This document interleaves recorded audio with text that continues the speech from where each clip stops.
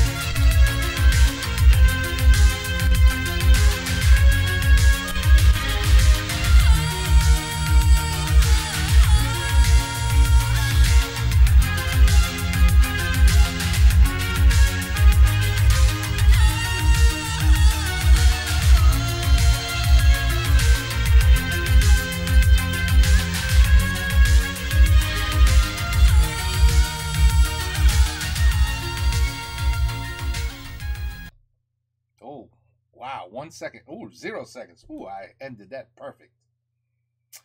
Uh, Julie Pietri. Pietri. I had trouble understanding a lot of what she was singing, to be completely honest with you. Uh, it's her voice. It's not that it's a bad voice. It's a, she has a very nice voice, but I don't know the sound.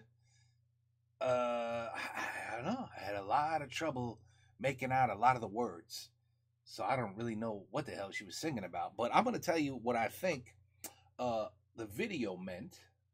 I think for once, maybe this video had a meaning. Because a lot of these videos from the 1980s literally make no sense. Have nothing to do with the song. But this one, maybe, possibly, Get Up Eve is a way of saying uh, liberating women. Get up, fight for your cause, and be free. Wear makeup if you want to wear makeup. You see, the little child was putting on makeup because she was showing her how to make how to put makeup on, and it looks like the bad the guys on the horses are you know bad people. Because you know back in these uh well it still exists today. You know there are some countries out there in the east that are treated like absolute slaves like they are nothing. They have the right to do nothing the man controls everything and tells them how to be how to live how to act how to talk how to look. And it, it looks like in this video she's liberating those women away from those bad men. And you can see them all together all the women together. Uh, and she's leading them out of the buildings you know like hey be free you know? Yeah. I think that's what it get up eve is basically a metaphor for get up women and and and and be free and fight for a cause stop you know just letting these men tell you how to be who you are. I think, I think, you know what's a pretty damn good thought back in the 1980s to already have a video like this back in the 80s.